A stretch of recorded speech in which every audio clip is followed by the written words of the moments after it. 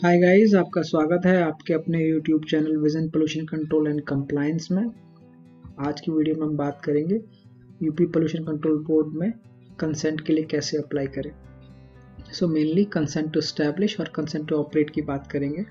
यहाँ पे पूरा अप्लीकेशन फॉर्म रिव्यू करेंगे, इसके अलावा फ़ी का स्ट्रक्चर क्या रहेगा।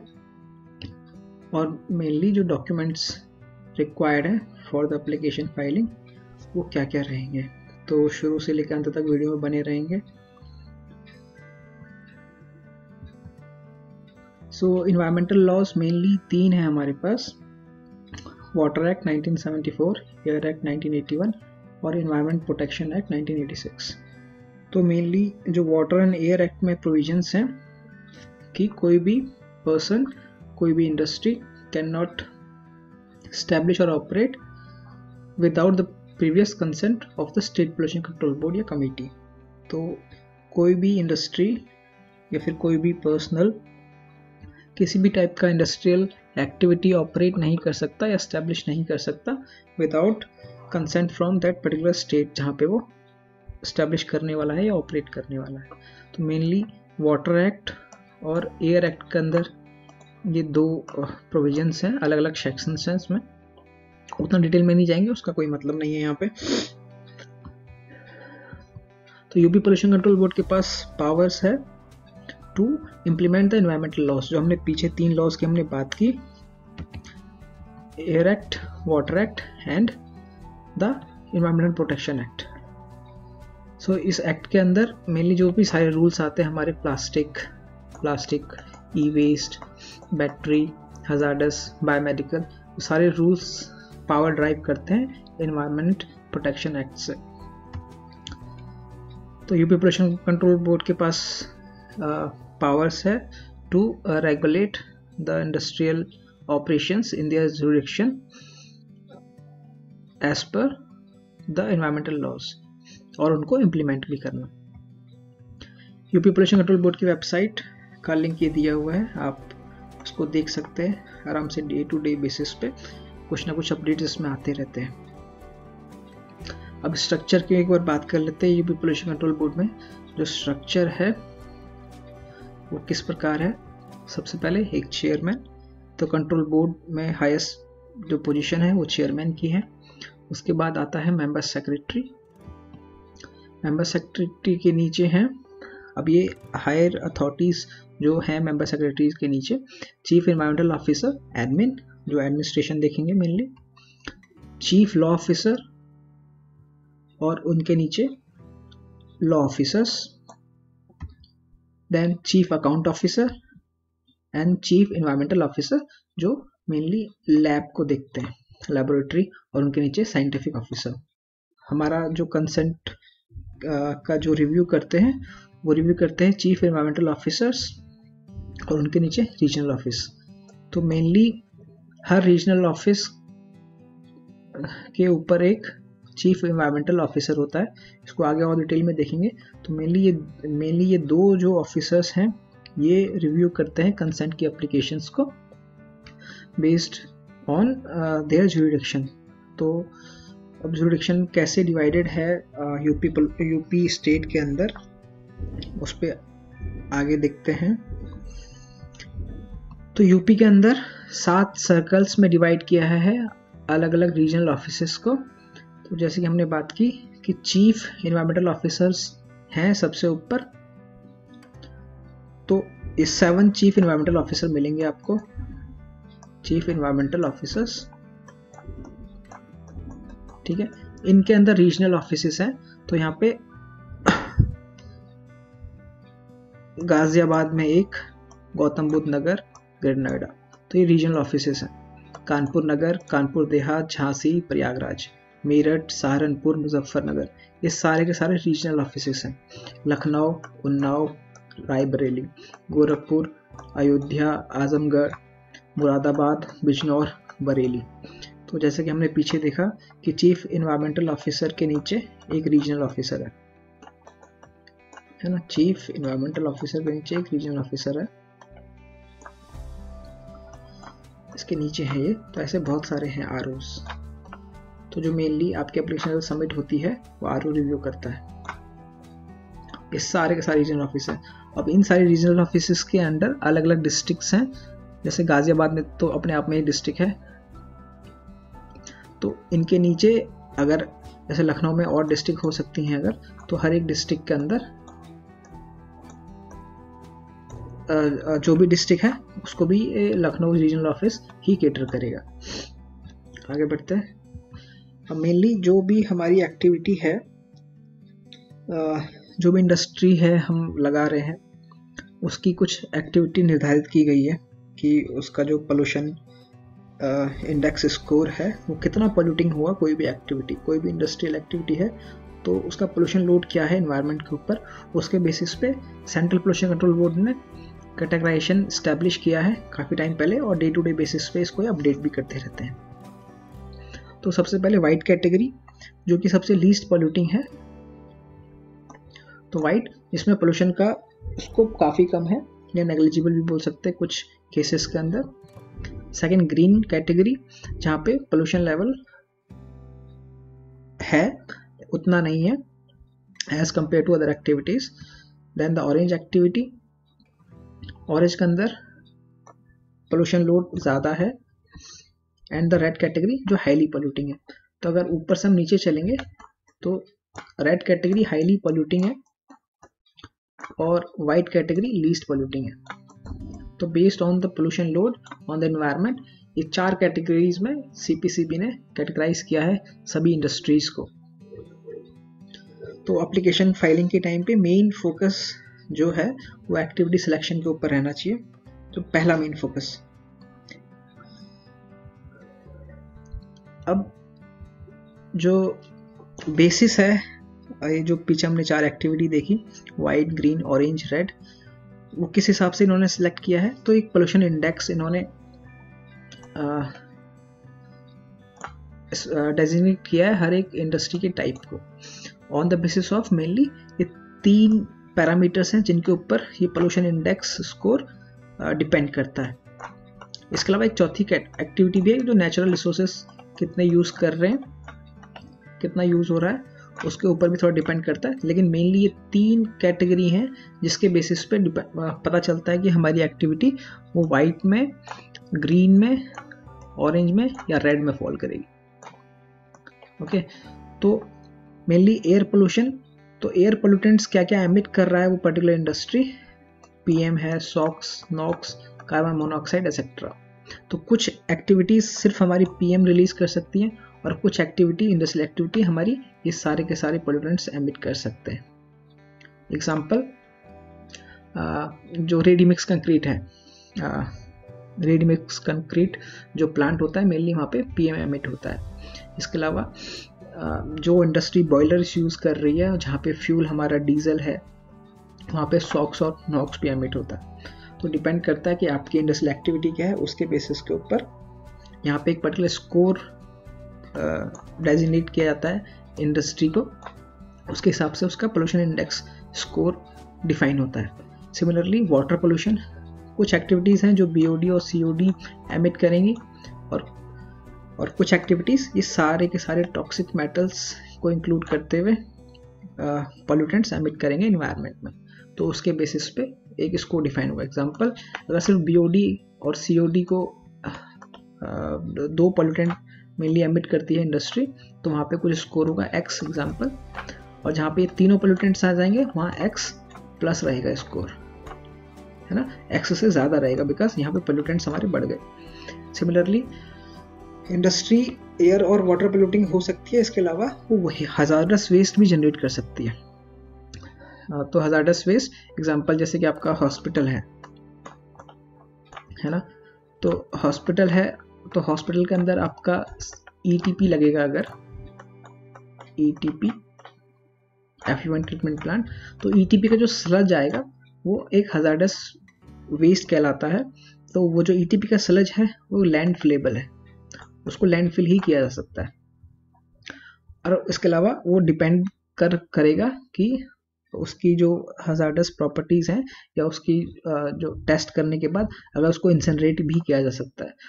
तो अगर लैंड फ्लेबल है तो हाई स्कोर रहेगा इसका इंसनरेबल है थोड़ा लो स्कोर रहेगा रिसाइकलेबल है तो एज कंपेयर टू देम उसका स्कोर थोड़ा और कम होगा क्योंकि उसको रिसाइकल कर सकते हैं। एग्ज़ाम्पल रिसाइकल के केस में जैसे कि यूज़ ऑयल यूज़ ऑयल अगर कोई इंडस्ट्री जनरेट कर रही है यूज़ ऑयल है ना? तो उस केस में जो हजारडस वेस्ट जनरेशन का स्कोर है, वो कम रहेगा एज कंपेयर टू इस वाले केस में। क्योंकि यहाँ पे या तो ई टी पी को लैंड फिल करना पड़ेगा या फिर उसको इंसनरेट करना पड़ेगा। तो इस हिसाब से on the basis of these three parameters एक स्कोर जनरेट होता है, उसके बेसिस पे कैटेगरी डिफाइन की जाती है कि वाइट में फॉल करेगा वो ग्रीन में, ऑरेंज में या रेड में।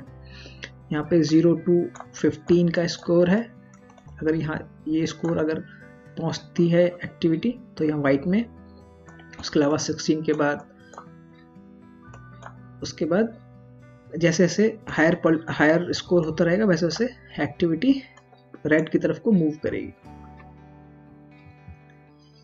अब कैटेगराइजेशन अगर आपको एक्टिविटी अपनी चेक करनी है तो सीपीसीबी की कैटेगराइजेशन अवेलेबल है उनकी वेबसाइट के ऊपर।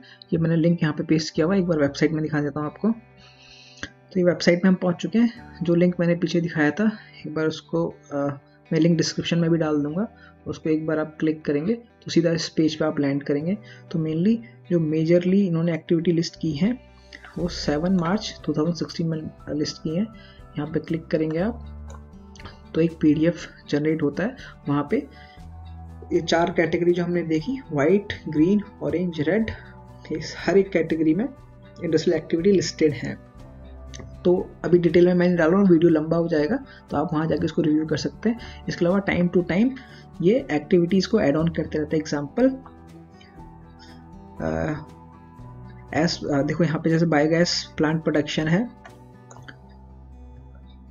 तो और स्क्रैपिंग सेंटर्स जो व्हीकल स्क्रैपिंग सेंटर्स हैं, उसके लिए कैटेगराइजेशन अप्रैल 2020 में आया है।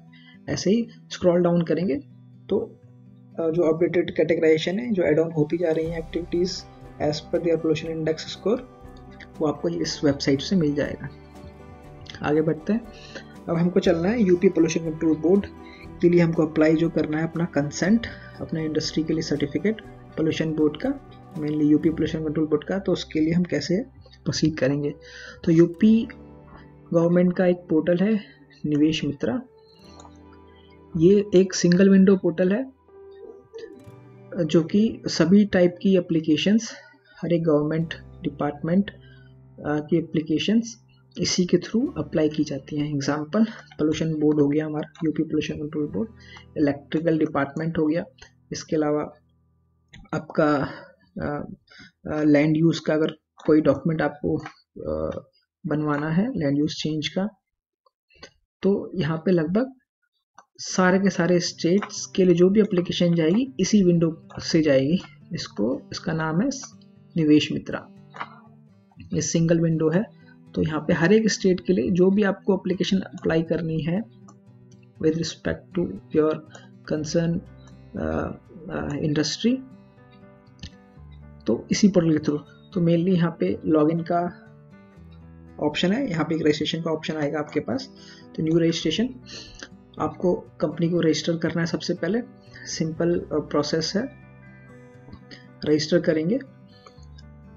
यहाँ पे जो इम्पोर्टेंट है, एक आपका मेल आईडी एक फ़ोन नंबर बिकॉज़ इन्हीं मेल आईडी और फ़ोन नंबर के ऊपर आपके पास कंफर्मेशन के मैसेजेस और लिंक्स आते हैं।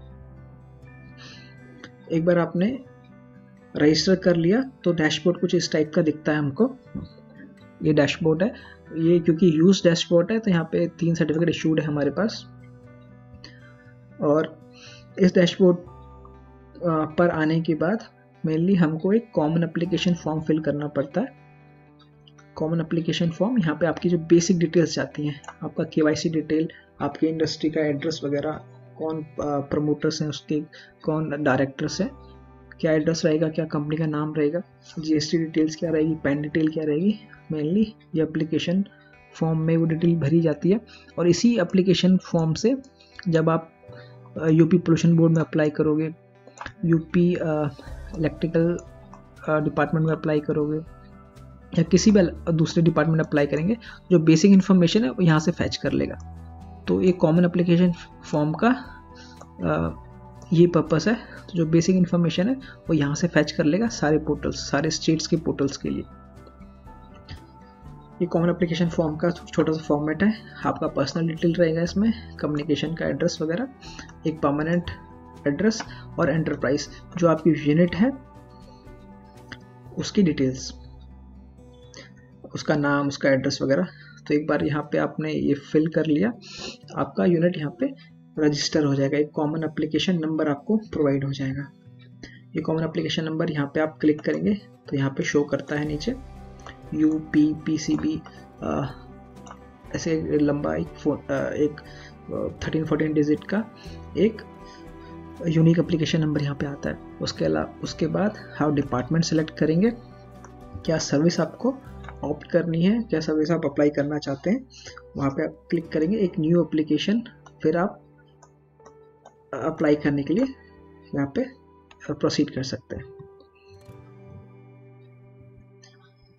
अब जैसे पीछे हमने बात की इधर, यहाँ पे मैं डिपार्टमेंट सेलेक्ट करूँगा अपना यूपी पोल्यूशन कंट्रोल बोर्ड और यहाँ पे मेरा जो सर्विस रहेगा कंसेंट टू स्टैब्लिश के लिए मैं अप्लाई करना चाहता हूँ या फिर कंसेंट टू ऑपरेट के लिए मैं अप्लाई करना चाहता हूँ। उसके बेसिस पे यहाँ पे मैं इसको सिलेक्ट करूँगा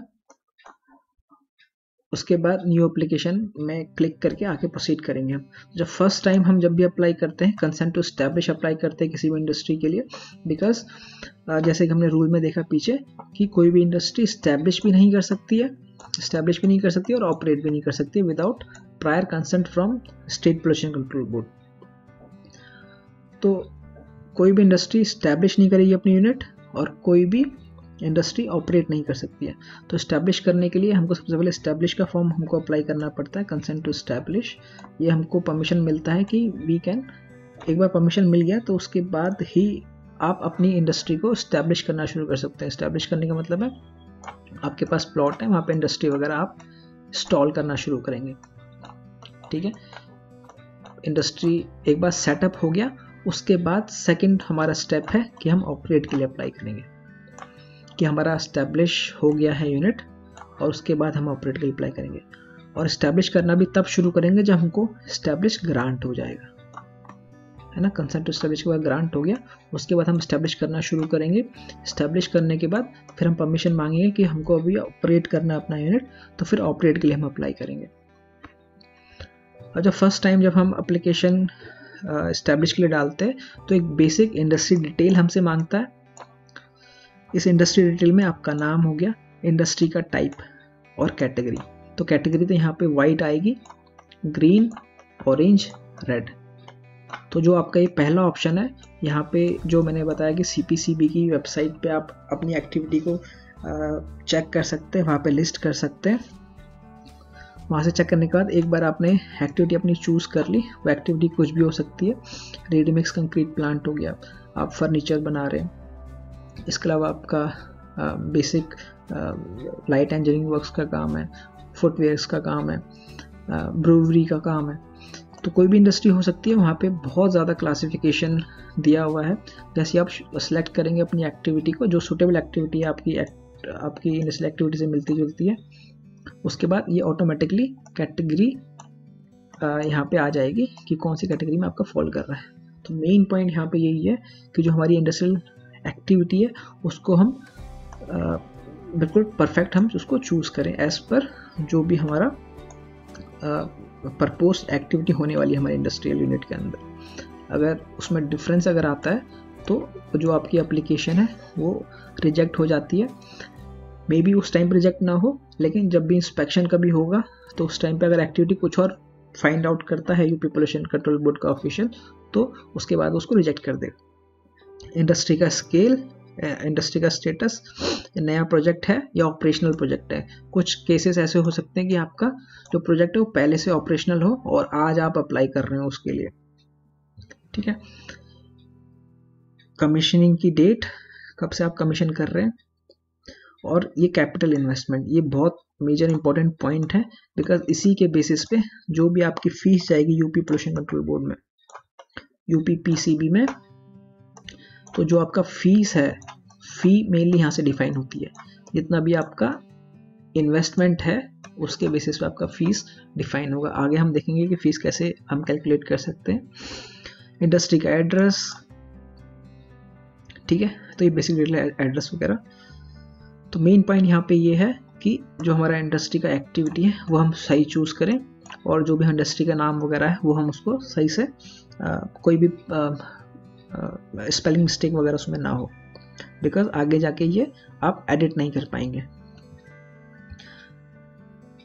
ठीक है? इंडस्ट्री हो गया। अभी हम ऑक्यूपायर की डिटेल ऑक्यूपायर जो भी अप्लीकेशन को फ़ाइल कर रहा है। जो अप्लीकेंट है यहाँ पे, उसका नाम डेजिग्नेशन उसका एड्रेस वगैरह। ठीक है? और यहाँ पे ये तो हो गया कि अप्लीकेंट अप्लीकेंट आपका डायरेक्टर भी हो सकता है कंपनी का प्रोपराइटर भी हो सकता है फर्म का। इसके अलावा अगर कोई प्राइवेट लिमिटेड फर्म है तो वो किसी को असाइन भी कर सकते हैं इस पर्टिकुलर एप्लीकेशन को फ़ाइल करने के लिए। ठीक है? और यहाँ पे वो पूछ रहा है कि आपके जो डायरेक्टर्स हैं, उनकी लिस्ट कंपनी के डायरेक्टर्स की लिस्ट क्या है? अब एल है प्राइवेट लिमिटेड फर्म है तो वहाँ पे जितने भी डायरेक्टर्स हैं या पार्टनर्स हैं प्रोप्राइटरशिप के केस में सिंगल ओनर का यहाँ पे डिटेल आ जाएगा। एक बार आपने बेसिक डिटेल भर लिया, उसके बाद आप इस्टेब्लिश के लिए आपका एप्लीकेशन ओपन हो जाता है। यहाँ पे मेनली सात आठ हेडर हैं जो हमको फिल करने हैं। Industry occupier others product fee water consumption air emission and documents तो जो इंडस्ट्री डिटेल आपने स्टार्टिंग में फिल करी है, वो ऑटोमेटिकली यहाँ पे फैच हो जाती है। ठीक है? जो चीज़ फैच नहीं हो रहा है, वो आप फिल कर सकते हैं। देखिए यहाँ पे, जैसे कि हमारा स्टेटस यहाँ पे हमने प्रपोज दिखाया हुआ है। तो स्टैब्लिश जब आप अप्लाई करेंगे तो ऑब्वियसली आप उसको प्रपोज दिखाएँगे बिकॉज़ कि आप इंडस्ट्री स्टैब्लिश करेंगे, है ना? तो स्टैब्लिश करेंगे तो कमीशनिंग की डेट ऑब्वियस है कि फ्यूचर की आएगी। कैपिटल इन्वेस्टमेंट मेनली ये है, ठीक है? एड्रेस आ गया, ये ये ऑटोमेटिकली फैच कर लेगा। ये मैंने थोड़ा हाइड किया हुआ है डेटा क्लाइंट का डेटा था ये। तो इसमें ज़्यादा कुछ डिटेल है नहीं। ऑक्यूपाइड्स में चलते हैं।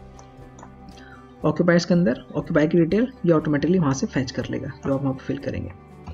अदर्स डिटेल में थोड़ा देख लेते हैं industrial effluent allowed to get mix with domestic domestic effluent तो यहाँ पे एफ्लुएंट दो टाइप के होते हैं हमारे। एक तो रहेगा हमारा डोमेस्टिक एफ्लुएंट डोमेस्टिक मतलब जो डोमेस्टिक एक्टिविटी से निकल रहा है मेनली वॉशरूम्स वगैरह से जो निकल रहा है है ना? और इसके अलावा एक आएगा आपका ट्रेड एफ्लुएंट ट्रेड एफ्लुएंट जो इंडस्ट्रियल एक्टिविटी से निकल रहा है। इंडस्ट्रियल एक्टिविटी जहाँ पे वाटर हमारा पॉल्यूट हो रहा है। तो वो मिक्स कर रहा है क्या? डोमेस्टिक या ट्रेड एफ्लुएंट हमारा? तो वहाँ पे यस नो में आंसर है। और मेनली इसको मिक्स नहीं करते हम। आ, हमारा जो एफ्लुएंट आ रहा है ट्रेड एफ्लुएंट उसको ट्रीट करने के बाद ही हम आगे फर्दर वाटर बॉडी में उसको डिस्चार्ज करते हैं। जो डोमेस्टिक एफ्लुएंट है, उसको डायरेक्ट हम सीवरेज सिस्टम में हम इसको डिस्चार्ज कर सकते हैं। तो इसको मिक्स नहीं करना है, सीधा सीवर में जाके ही मिक्स हो। तो यहाँ पे बेसिक डिटेल है प्रपोज रॉ मटेरियल क्या हमारा प्रपोज प्रोडक्शन प्रपोज लैंड ठीक है, जो लैंड यूज़ है हमारा, अब क्या हो सकता है कि जो लैंड है हमारी, जो हमारा इंडस्ट्रियल हमारा इंडस्ट्री है, वो किस लैंड के ऊपर लोकेटेड है? तो यहाँ पे मेनली इंडस्ट्रियल लैंड अगर हो आपका तो सबसे बेस्ट है तो वहाँ पे लैंड यूज़ चेंज करने का कोई प्रोविज़न नहीं आता है। तो सबसे पहले जो अगर इस्टेब्लिश करने जा रहे हैं अपनी इंडस्ट्री को, या प्रपोज प्रपोजल है आपके पास कि कोई इंडस्ट्री इस्टेब्लिश कर रहे हैं तो कोशिश करें कि सबसे पहले आप कोई इंडस्ट्रियल एरिया के अंदर ही उसको इस्टेब्लिश करें। क्योंकि अगर कोई और लैंड यूज़ होगा तो वहाँ पे आपको लैंड यूज़ उसका चेंज करना पड़ेगा। आगे बढ़ते हैं प्रोडक्ट्स प्रोडक्ट की डिटेल है बाय प्रोडक्ट्स रॉ मटेरियल यहाँ ऐड पे क्लिक करेंगे प्रोडक्ट्स की डिटेल आपका प्रोडक्ट का नाम क्या रहेगा? क्या प्रोडक्शन होने वाला है? शूज़ हो गए आपके, या फिर प्लास्टिक गुड्स आप बनाने वाले या प्लास्टिक पैकेजिंग आप बनाने वाले है ना? फर्नीचर्स आप बनाने वाले हैं। तो उसका नाम किस क्वांटिटी में बनेगा? पर मंथ इंटरमीडिएट कोई प्रोडक्ट तो नहीं है और टोटल क्वांटिटी पर मंथ तो ये क्वांटिटी ही आपको जो डालनी है, वो आपका जो इंडस्ट्री की कैपेसिटी है, उसके हिसाब से डालनी है. एग्जांपल अगर आपकी इंडस्ट्री इंडस्ट्री की कैपेसिटी है, कोई भी प्रोडक्ट तैयार करने की ten ton per month ten ton per month तो आप उतना ही उसको डालें. है ना? क्योंकि ये जो कैपेसिटी है, बाद में आप इंक्रीज़ नहीं कर पाएँगे। अगर आपको फर्दर इंक्रीज़ करना है इस कैपेसिटी को तो आपको एक्सपेंशन के लिए अप्लाई करना पड़ता है। सिमिलरली बाई प्रोडक्ट्स हाँ इस पीछे देख लेते एक बार। यहाँ पे बाई प्रोडक्ट्स तो अगर इंटरमीडिएट को बाई प्रोडक्ट कोई बन रहा है तो उसकी डिटेल एंड रॉ मटेरियल तो रॉ मटेरियल का भी जो फॉर्म आएगा, उसी टाइप का आएगा रॉ मटेरियल का नाम क्या है, किस क्वांटिटी में आप यूज़ करने वाले हैं। फ़ी का स्ट्रक्चर अब ये जो फ़ीस है, ये ऑटोमेटिकली फैच करता है पोर्टल ऑटोमेटिकली कैलकुलेट करता है पोर्टल अब हमने जो इनिशियल यहाँ पे इन्वेस्टमेंट हमने पुट किया था, ये ट्वेंटी लैक्स हमने डाला हुआ है. और ये कैटेगरी जो हमने चूज़ की थी हमारी, हमारे केस में ग्रीन कैटेगरी है. तो वन ईयर के लिए हम इस्टेब्लिश के लिए अप्लाई करेंगे. अब यहाँ पे ईयर आप एडिटेबल है ईयर आप चूज़ कर सकते हैं. अगर आपको इंडस्ट्री काफ़ी बड़ी है तो अगर उसमें एक से दो साल का टाइम लग रहा है तो आप दो साल के लिए इस्टेब्लिश अप्लाई करें, है ना? वो डिपेंड करता है कि आपका जो इंडस्ट्री है, कितने साल में इस्टेब्लिश हो जाएगी कमीशनिंग के लिए तैयार हो जाएगी। तो उसके हिसाब से इस्टेब्लिश का जो टाइम पीरियड है, वो यहाँ पे डालेंगे। कैलकुलेट फ़ी पे क्लिक करेंगे, आपका फ़ीस अपने आप ऑटोमेटिकली कैलकुलेट हो जाता है। सिमिलरली ऑपरेट के केस में आप यहाँ पे ईयर यहाँ पे टाइप करेंगे आपकी फ़ीस ऑटोमेटिकली यहाँ पे कैलकुलेट हो जाएगी। अब ये 20 लाख के इन्वेस्टमेंट के ऊपर फिफ्टीन हंड्रेड रुपये की फ़ीस आ रही है। अब इस फ़ीस को कैसे हम एक बार चेक कर सकते हैं कि हमारा क्या प्रपोज फ़ी आने वाली है? उसके उसको चेक करने के लिए एक फ़ी का स्ट्रक्चर अवेलेबल है इनकी वेबसाइट के ऊपर। उसको एक बार देख लेते हैं। तो ये आपकी वेबसाइट आप, आप खोल लेंगे अगर U P O C M M S dot N I C dot in तो यहाँ पे एक फ़ी का कैलकुलेटर अवेलेबल आपको मिलेगा। ठीक है? आप इस्टेब्लिश के लिए अप्लाई कर रहे हैं। इस्टेब्लिश हमेशा न्यू होता है। कैपिटल इन्वेस्टमेंट पुट करेंगे इन लैक्स कैलकुलेट करेंगे और यहाँ पे फ़ी आपको शो करेगी। तो जो वो स्लैब था, वो टेन से फिफ्टी लाख का स्लैब था। तो स्लैब के अकॉर्डिंग यहाँ पे फिफ्टीन हंड्रेड ही फ़ीस आ रही है। इसके अलावा आप यहाँ पे ये फ़ी डिटेल का एक यहाँ पे लिंक दिया हुआ है, यहाँ पे क्लिक करेंगे, एक डॉक्यूमेंट ओपन होगा पीडीएफ उसमें फ़ी स्ट्रक्चर उन्होंने दिया हुआ है। मैं एक बार उसका फ़ोटो आपको दिखा देता हूँ। अब जैसे कि ये अगर वन लाख से टेन लाख का अगर हमारा इन्वेस्टमेंट होने वाला है हमारे इंडस्ट्री के ऊपर तो ये अमाउंट लैक्स में है, ठीक है? तो फाइव हंड्रेड रुपी फ़ी हमारी पड़ेगी। टेन लाख से फिफ्टी लाख है तो यहाँ पे फिफ्टीन हंड्रेड ये देखिए यहाँ पे फिफ्टी डाला हुआ है फिफ्टीन हंड्रेड फ़ी हमको पड़ रही है अप टू फिफ्टी तो फिफ्टी यहाँ पे इंक्लूड किया हुआ है। जैसे फिफ्टी वन हो जाएगा, मेरी फ़ीस थ्री थाउज़ेंड हो जाएगी यहाँ पे। ठीक है तो यहाँ पे कैटेगरी का कोई भी इंटरवेंशन नहीं है तो कैटेगरी मैटर नहीं कर रही है कि आपकी ग्रीन है कि ऑरेंज है। आप किसी भी कैटेगरी में फॉल कर रहे हैं, ये इन्वेस्टमेंट के ऊपर आपका फ़ी कैलकुलेट होता है। कभी कभी ये स्ट्रक्चर कभी कभी फील हो जाता है तो सिस्टम वहाँ पे ऑटोमेटिकली जो कैलकुलेट कर रहा है फ़ीस जैसे हमने पीछे देखा तो वही फ़ीस हमको पे करनी है। वहाँ पे हम कुछ भी एडिट नहीं कर सकते फ़ीस को, बस हमको अपना ईयर चेंज करना है, कितने टाइम के लिए हमको वो पर्टिकुलर कंसेंट चाहिए परमिशन चाहिए तो उसके हिसाब से हमारी फ़ीस कैलकुलेट हो जाती है। अगला था वाटर कंजम्पशंस तो वाटर कंजम्पशन में तीन चार यहाँ पे पैरामीटर्स है। सोर्स ऑफ़ वाटर तो सोर्स हमारा रिवर है, नाला है, नौला डैम या फिर म्यूनसिपल बॉडी है तो मेनली ज़्यादातर सोर्स म्यूनसिपल बॉडी का रहता है। और कुछ कुछ एरियाज़ में, या तो बोरवेल का भी सोर्स रहता है हमारे पास। या प्रोमेसिस के अंदर होगा या प्रोमेसिस के बाहर होगा तो सोर्स क्या है हमारा पानी का? और कितना कंज्यूम करने वाले हैं? Quantity kilo litre per day kilo litre per day में इसकी क्वांटिटी मेंशन करनी पड़ती है। सॉलिड वेस्ट ये सॉलिड वेस्ट में देख रहे हैं हम। अब सॉलिड वेस्ट मैं जैसे कि बात की वहाँ पे हम हजारडस वेस्ट भी जनरेट करते हैं कभी कभी एक्टिविटी के ऊपर डिपेंड करता है तो नॉन हजारडस वेस्ट है जहाँ पे म्यूनिसिपल वेस्ट की बात हो रही है तो वो, वो कितना वेस्ट जनरेट हो रहा है? ईयर्स में हम बात कर रहे हैं यहाँ पे, और वो किस टाइप का उसका डिस्पोजल हो सकता है? लैंड फिलेबल हो सकता है इंसिनरेबल तो ये टाइप ऑफ़ वेस्ट ये स्पेसिफिक है एक्टिविटी के अकॉर्डिंग जो भी आपकी एक्टिविटी है उसके हिसाब से. देन वाटर कंजम्पशन डिटेल तीसरे पे आ गया. तो वाटर हम कंज्यूम जो करने वाले हैं डोमेस्टिक में करने वाले हैं इंडस्ट्रियल में, या प्रोसेस में बॉयलर में कूलिंग टावर में, या डस्ट सप्रेशन के लिए वाटर स्प्रिंकलिंग वगैरह करते हैं, बहुत जगह पे. तो ये है तो तो एज पर एक्टिविटी कितना कंज्यूम करने वाले हैं? डोमेस्टिक में तुम्हारा अप्रोक्सीमेट कंजम्पशन कितना होने वाला है? इंडस्ट्रियल एक्टिविटी में कितना कंज्यूम करने वाले हैं? कूलिंग टावर में या बॉयलर में कितना यूज़ करने वाले हैं वाटर को? तो यहाँ पे एक वाटर बैलेंस चार्ट बन, चार्ट बनाना बहुत ज़रूरी है। कोई भी अगर कोई बड़ी इंडस्ट्री है तो। तो एफ्लुएंट जनरेशन डिटेल्स अब हमने वाटर कंजम्पशन की बात कर ली। अब वाटर कंज्यूम हमने जो कर लिया उसके बाद हम वेस्ट वाटर जनरेट होगा तो उसका डिटेल ये मांग रहा है। तो लास्ट में मैंने डोमेस्टिक और इंडस्ट्रियल चूज़ किया था। तो डोमेस्टिक जो भी हम कंज्यूम करने वाले हैं तो कंज्यूम करने के बाद कुछ वेस्ट भी निकलेगा वेस्ट वाटर तो डोमेस्टिक वेस्ट वाटर कितना निकलने वाला है? इंडस्ट्रियल वेस्ट वाटर कितना निकलने वाला है? उसकी डिटेल्स और उसी के बेसिस पे डिपेंड करेगा कि आपका जो प्रोविज़न है वाटर पोल्यूशन कंट्रोल को कंट्रोल करने के लिए वो किस कैपेसिटी का आप ट्रीटमेंट प्लांट वगैरह लगाने वाले हैं। कुछ केसेस में ये हो सकता है कि आपका इंडस्ट्रियल वेस्ट ना ही ना ही निकले। कुछ एक्टिविटीज़ हो सकती हैं जो ड्राई यूनिट होंगी। यहाँ पे पानी इन इंडस्ट्रियल प्रोसेस बिल्कुल भी यूज़ नहीं होगा। तो ड्राई एक्टिविटी भी हो सकती है। वो आ, उस केस में यहाँ पे आप चूज़ नहीं करेंगे। जैसे हमने लास्ट में वाटर कंजप्शन डिटेल्स में हमने फिल किया। Water effluent characteristics physical characteristics अब ऑब्वियसली ये है कि जो भी हमारी करेक्टरिस्टिक्स हैं जो एफ्लुएंट हम जनरेट करने वाले हैं तो उसकी करेक्टरिस्टिक्स हम अभी दे नहीं पाएँगे बिकॉज़ हमारा इस्टेब्लिश के एंड पे है ये फाइलिंग तो जब तक हम टेस्ट नहीं कराएँगे अपने एफ्लुएंट को, जो ट्रीटेड एफ्लुएंट हमारा, तब तक यहाँ पे हम इसको प्रोवाइड नहीं कर पाएँगे. तो एक बार जब ऑपरेट के केस में जब हम अप्लाई करेंगे तो उस टाइम पे हम एनालिसिस करेंगे, जो हमारा एफ्लुएंट ट्रीट हो रहा है तो उसके पैरामीटर्स यहाँ पे हम फिल कर सकते हैं एज पर जो भी रिपोर्ट हमारी हमको प्रोवाइड होगी। और विद इन स्टैंडर्ड होना चाहिए।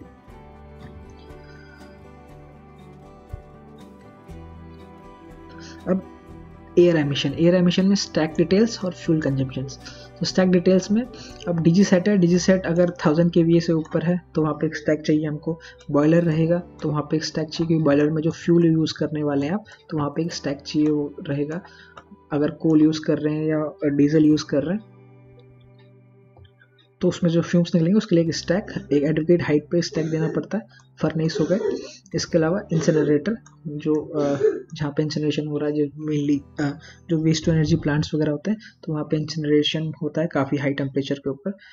तो इंसनरेटर के पास के ऊपर भी एक स्टैक देना पड़ता है एट एट एडवोकेट हाइट फिर फ्यूल क्या कंज्यूम करने वाले हैं? अब जैसे इस ये बॉयलर हम यूज़ कर रहे हैं या डीजी सेट यूज़ कर रहे हैं इंसिनेटर यूज़ कर रहे हैं फर्नेस यूज़ कर रहे हैं तो यहाँ पे हमारा फ्यूल क्या कंज्यूम हो रहा है?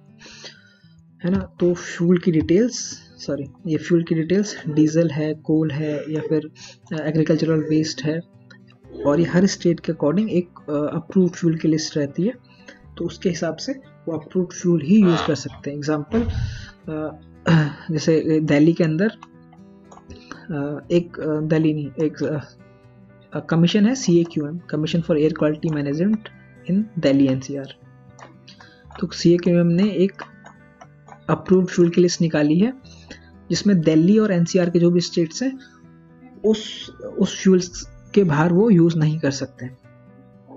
तो वो सी के की आप अगर वेबसाइट आप चेक करेंगे तो वहाँ आपको आपको फ्यूल की लिस्ट मिल जाएगी। और कुछ एक्टिविटीज़ ऐसी हैं जहाँ पे आप एग्रीकल्चरल वेस्ट भी यूज़ कर सकते हैं। जैसे कि आ, आ, जो ब्रिक किल्स है और गुड मैन्युफैक्चरिंग जैगरी मैन्युफैक्चरिंग यूनिट्स हैं तो वहाँ पे कुछ फ्यूल्स एग्जामेड हैं जहाँ पे आप यूज़ कर सकते हैं इवन एग्रीकल्चरल वेस्ट अब मेन जो है डॉक्यूमेंट्स क्या क्या रिक्वायर्ड है इस पर्टिकुलर एप्लीकेशन की फाइलिंग के टाइम पे। अभी हम स्टैब्लिश की बात कर रहे हैं consent to establish mainly okay तो सबसे पहले लोकेशन मैप तो कोई भी डिस्ट्रिक्ट के अंदर, कोई भी इंडस्ट्री एरिया के अंदर, आपका जो यूनिट है वो कहाँ पे लोकेट करने वाला है? आपका जो प्रपोज यूनिट है उसका लोकेशन मैप ये आप गूगल गूगल अर्थ से भी निकाल सकते हैं। वहाँ पे आपका प्रॉपर लैटिट्यूड और लैंगिट्यूड मेंशन होना चाहिए। लैंड यूज़ सर्टिफिकेट अगर अगर आपका इंडस्ट्रियल एरिया के अंदर है यूनिट तो लैंड यूज़ सर्टिफिकेट की ज़रूरत ही नहीं पड़ेगी, क्योंकि वो अप्रूव्ड इंडस्ट्रियल एरिया है। लैंड ओनरशिप जो भी आपका प्रीमाइसिस है, उसका ओनरशिप का प्रूफ यहाँ पर रेंट एग्रीमेंट भी हो सकता है, वो सील डीड भी हो सकता है, या फिर इंडस्ट्री से अलॉटमेंट लेटर भी हो सकता है इंडस्ट्रियल डिपार्टमेंट से। एस एस आई रजिस्ट्रेशन जो M S M E registration certificate production process जो भी आपकी एक्टिविटी है, जो भी एक्टिविटी है इंडस्ट्री की, उसका एक प्रोसेस उसका प्रोडक्शन प्रोसेस कि रॉ मटेरियल से लेके रॉ मटेरियल कैसे प्रोक्योर हुआ, कहाँ से प्रोक्योर हुआ और क्या फिनिश्ड प्रोडक्ट बना। तो इसकी जो भी इसमें यूनिट ऑपरेशंस या यूनिट प्रोसेसेस जो भी लगने वाले हैं, उसका एक detailed flow chart with description compliance report of existing unit तो इस्टेब्लिश के केस में इसकी ज़रूरत नहीं है। लेआउट मैप अब जो इंडस्ट्री जो इंडस्ट्रियल यूनिट है हमारा, उसका जो लेआउट प्लान है, उसका layout plan proposal for water pollution control system जैसे कि हमने बात किया कि अगर हमारा इंडस्ट्रियल वेस्ट वाटर जनरेट हो रहा है तो उसको कंट्रोल करने के लिए हमारा जो वेस्ट वाटर कंट्रोल सिस्टम है ई e है या STP है? है ना? ई एस टी उसका प्रपोजल या फिर उसका एक एडुकेसी रिपोर्ट वगैरह।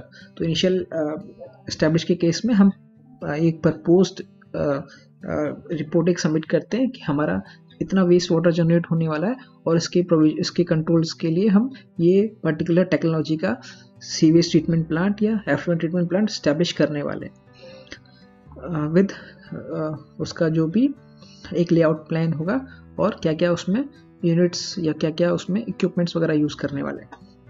फाइनल एफ्लुएंट डिस्चार्ज पॉइंट जो डिस्चार्ज पॉइंट हमारा या तो सीवरेज सिस्टम होगा म्यूनिसिपल बॉडी का या इंडस्ट्रियल एरिया के अंदर भी सीवरेज सिस्टम होते हैं।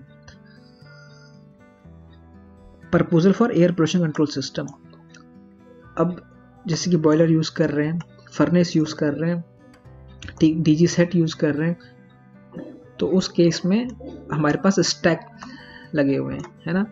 स्टैक लगे हुए हैं तो उस स्टैक में से जो भी एमिट हो रहा है हमारा या फिर जो भी हमारी एक्टिविटी है नीचे उसमें से जो एमिशन हो रहा है एयर एमिशन उसके कंट्रोल के लिए क्या क्या मेजर्स हम यूज़ कर रहे हैं? मेनली जैसे कि वेट स्क्रबर अगर आप लगा रहे हैं यहाँ पे बैग हाउस फ़िल्टर आप लगा रहे हैं ठीक है? आ, तो उसका डिटेल्स जैसे यहाँ पे हमने ई टी पी वाटर के लिए कंट्रोल मेजर्स का डिटेल एक छोटा सा रिपोर्ट यहाँ पे प्रोवाइड कराया। सिमिलरली एयर पोल्यूशन कंट्रोल के लिए क्या मेजर्स हैं, उसकी detail safety and on site safety and on site disaster management plan अब जो भी मैन पावर साइट पे काम करेगी तो on site disaster management plan कि अगर फायर फायर सेफ्टी के लिए क्या हमारे पास प्लान्स हैं? या अर्थ अगर आता है, क्या प्लान्स हैं हमारे पास? एवैक्यूएशन प्लान्स वगैरह? तो इस टाइप के एक छोटा सा मैनेजमेंट प्लान शो करना ज़रूरी है स्टेब्लिश के केस में और ऑपरेट के केस में और detail plan information regarding sanctuary national park reserve forest within fifteen kilometre of the unit अगर इनमें से कोई भी यूनिट इनमें से कोई भी यूनिट अगर फॉल कर रही है 15 किलोमीटर के रेडियस में आपके यूनिट के तो उसकी इन्फॉर्मेशन देना ज़रूरी है यहाँ पे। इन्वायरमेंटल इम्पैक्ट असेसमेंट रिपोर्ट तो यहाँ पे जो बड़े प्रोजेक्ट्स हैं, जो ई e के अंदर फॉल करते तो उनका ये ई ए रिपोर्ट यहाँ सबमिट करना है। Total area of industry and area propose for different work propose within premises like as a space for plant and machinery industry mainly जो हमने लेआउट मैप की बात की यहाँ पे मेनली यही लेआउट मैप जाने वाला है यहाँ पे। लेकिन यहाँ पे थोड़ा डिटेल लेआउट मैप कि जो हमारा यूनिट है वहाँ पे किस एरिया में हमारे पास स्टोरेज है किस एरिया में हमारे पास मशीनरी इंस्टॉल्ड है किस एरिया में हमारे पास पॉल्यूशन कंट्रोल इक्विपमेंट हमने इंस्टॉल किए हुए हैं। तो और कहाँ पे हमारा एग्जिट गेट है या एंट्री गेट है कहाँ पे हमारे पास आ, आ, जो गवर्नमेंट की रोड है, या एडजस्टेंट प्लॉट या फिर एडजस्टेंट जो फैक्ट्री है, वो कहाँ पे है? तो उस सब का डिटेल एक डिटेल लेआउट प्लान यहाँ पे सबमिट करना पड़ता है। फॉर्म यहाँ पे कुछ नहीं डालना है, यहाँ पे कोई भी डॉक्यूमेंट आप अपलोड कर सकते हैं। फॉर्म मेनली जो हमने फॉर्म भरा है, इसी की बात हो रही है बैलेंस शीट और सीए सर्टिफिकेट अब ये मेन डॉक्यूमेंट है, जो कि बात करेगा आपकी इन्वेस्टमेंट के ऊपर। सी ए सर्टिफिकेट तो चार्टर्ड अकाउंटेंट इस सर्टिफिकेट को बनाएगा आपके लिए। आपका चार्टर्ड अकाउंटेंट यहाँ पे वो मेंशन करेगा कि एक्स वाई जेड कंपनी एक इंडस्ट्री स्टेब्लिश करने वाली है इस एड्रेस इस एड्रेस के ऊपर और इसका जो कॉस्ट है एस्टिमेटेड कॉस्ट वो इतना होने वाला है। तो मेनली यहाँ पे कॉस्ट किस किस चीज़ में कॉस्ट किस किस चीज़ की कॉस्ट इंक्लूड की जाएगी? एक land building building plant and machinery तो लैंड बिल्डिंग प्लांट मशीनरी में जो भी प्रपोज कॉस्ट है वो यहाँ पे मेंशन करेगा कि इतना लाख रुपीस या इतना प्रपोज कॉस्ट है या फिर एस्टिमेटेड कॉस्ट है इस प्रोजेक्ट के लिए। तो उसके बेसिस पे ही आपका फ़ीस डिफाइन होगा यूपी पोल्यूशन कंट्रोल बोर्ड में। एक बार समरी देख लेते हैं कि कैसे आ, हम अप्लाई करते हैं। एक बेसिक समरी ठीक है? तो सबसे पहले डॉक्यूमेंटेशन आपको रेडी करना ज़रूरी है, जो भी हमने डॉक्यूमेंटेशन पीछे देखा। इसके अलावा कुछ डॉक्यूमेंट्स वो एडिशनल मांग लेते हैं कभी कभी वो कब मांगते हैं मैं बताता हूँ आपको। फिर इसके बाद अप्लीकेशन आपको सबमिट करना है वाया निवेश मित्रा पोर्टल अप्लीकेशन सबमिट होने के बाद स्क्रूटनी की जाती है। आपका जो रीजनल ऑफिसर वहाँ पे स्क्रूटनी की जाती है एप्लीकेशन की डॉक्यूमेंट्स वगैरह क्या सबमिट किए हैं आपने, अगर उनको कुछ भी डेफिशिएंसी लगती है या फिर कुछ और डॉक्यूमेंट उनको चाहिए या कोई डॉक्यूमेंट आपने सबमिट नहीं किया तो वो एक क्वेरी में आपसे पूछते हैं, वो क्वेरी का रिप्लाई देते हैं आप, जो हमने डॉक्यूमेंट पीछे अपलोड किए, उसके अलावा भी डॉक्यूमेंट मांग सकते हैं आपसे।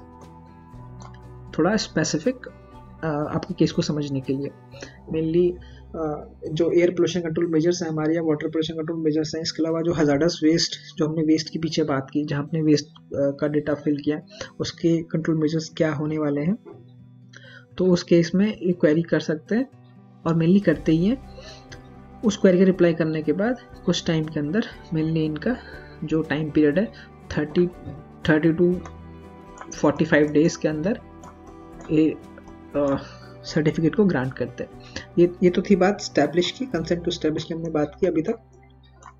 कंसेंट टू स्टैब्लिश तो ऑपरेट के केस में भी सेम एप्लीकेशन फॉर्म भरा जाएगा लगभग, लेकिन कुछ चीज़ें यहाँ पे चेंज हो जाएँगी। जैसे कि हमने जो E T P S T P लगाया, जो हमने कंट्रोल मेजर्स लगाए तो वहाँ पे उनका टेस्ट रिपोर्ट्स जो भी हमने सिस्टम लगाया है कंट्रोल मेजर्स के लिए वाटर एयर पोल्यूशन के लिए तो उनकी टेस्ट रिपोर्ट की हाँ वो टू द स्टैंडर्ड्स जो डिस्चार्ज पैरामीटर्स हैं, उसको मीट कर रहे हैं कि नहीं कर रहे तो वो रिपोर्ट जो है, एक पर्टिकुलर लैब के थ्रू मेनली जो एन एक्रेडिटेड लैब्स होती हैं, उन्हीं की रिपोर्ट्स मान्य होती है पोल्यूशन बोर्ड्स के अंदर। या फिर पोल्यूशन बोर्ड की अपनी लेबोरेटरीज भी हैं तो वहाँ पे भी आप अप्लाई कर सकते हो लैब रिपोर्ट्स के लिए। तो ये तो हमने बात की स्टैब्लिश के लिए ऑपरेट में भी हमने वही देखा कि सेम ही अप्लीकेशन प्रोसेस है, बस कुछ डॉक्यूमेंट्स एडिशनल एड ऑन हो जाते हैं। तो यहाँ पे हम एंटर करते हैं Vision Pollution Control and Compliance हम हेल्प करते हैं आपको पूरा का पूरा डॉक्यूमेंटेशन करने में, एक अप्लीकेशन फाइलिंग करने में, इसके अलावा पोल्यूशन बोर्ड के साथ फॉलो अप करना। क्वेरीज आ रही हैं कुछ या नहीं आ रही हैं, या अगर टाइम ज़्यादा लग रहा है कि नहीं लग रहा है तो उनके साथ फॉलो अप करना और अपना जो स्टेप हमारा कंसेंट है, जो सर्टिफिकेट है, उसको प्रोक्योर करना, उसको गेन करना। तो एप्लीकेशन फाइलिंग की जो टाइमलाइन है एज पर विजन पीसीसी सबसे पहला स्टेप है हमारा डॉक्यूमेंट कलेक्ट करते हैं आपसे डॉक्यूमेंट्स को वैलिडेट करते हैं, और जो डेटा है, उसको वैलिडेट करते हैं कि हम, ये डेटा एक्यूरेट बैठ रहा है एक्टिविटी के हिसाब से, या फिर क्या एक्टिविटी चूज़ करनी है हमको। तो डॉक्यूमेंट और data validation online application filing जिसमें हम टाइम लेते हैं लगभग दो से तीन दिन का, और एप्लीकेशन फाइलिंग के बाद ही फ़ी सबमिशन या अभी ऑनलाइन ही फ़ी सबमिट होता है। एक बार फ़ी सबमिट हो गया फॉलोअप्स अगर ज़रूरी है, या फिर क्वेरीज अगर वहाँ पे आ रही हैं डिपार्टमेंट से, उसका रिप्लाई करना टाइमली यहाँ पे आपको टाइमली ये एप्लीकेशंस अपनी रिव्यू करनी पड़ती है बिकॉज़ ये क्वेरी जब भी रिलीज़ करते हैं, वहाँ पे एक ड्यूरेशन देते हैं कि तीन से चार दिन का टाइम तीन से चार दिन का टाइम और उस टाइम के अंदर ही क्वेरी आपको रिप्लाई करनी पड़ती है। ये टाइम पीरियड एक हफ़्ते का भी हो सकता है, सात दिन. उसके बाद लगभग 30 से 45 दिन में आपका सर्टिफिकेट ग्रांट हो जाता है। बिना किसी इंटरवेंशन के, बिना पॉल्यूशन बोर्ड के ऑफ़िस को विज़िट किए बिना। और ऑपरेट के केस में कंसेंट टू ऑपरेट के केस में अगर एक्टिविटी आपकी फॉल कर रही है ऑरेंज कैटेगरी के अंदर या रेड कैटेगरी के अंदर तो मेनली ये दो कैटेगरी के अंदर पोल्यूशन बोर्ड से जो ऑफिशियल हैं, वो विज़िट करते हैं साइट को कि जो आप लिख रहे हो डॉक्यूमेंट में क्या वो ऑन साइट अवेलेबल है कि नहीं। मेनली वाटर पोल्यूशन और एयर पोल्यूशन में जो भी हमने प्रोविज़न हमने उनको प्रोवाइड कराए कि हमारे कंट्रोल मेजर्स क्या हैं। और हजारस वेस्ट ऑथराइजेशन के ऊपर मैं एक वीडियो बनाऊँगा उसको अच्छे से और समझेंगे हम बाद में। वहाँ पे हमको एक एग्रीमेंट करना पड़ता। है mainly T S T F के साथ। टी एस टी एफ़ के साथ या फिर रिसाइकलर्स जो हजारडस वेस्ट को रिसाइकल कर रहे हैं। हमने देखा था वहाँ पे कि जो हजारडस वेस्ट जनरेट हो रहा है, वो लैंड फिलेबल होगा या इंसिनरेबल होगा या रिसाइकलेबल होगा। तो ये दोनों चीज़ें करती हैं T S D F mainly और रिसाइकलेबल कोई भी रिसाइकलर हो सकता है वो। तो ऑपरेटिव केस में ये चीज़ें हैं। तो हम कंसेंट्स के अलावा क्या क्या सर्विसेज़ में आपको हेल्प करते हैं? एक बार देख लेते हैं। कंसेंट तो है ही है। Biomedical waste authorisation hazardous waste authorisation EPR plastic waste EPR registration E waste EPR registration and battery waste EPR registration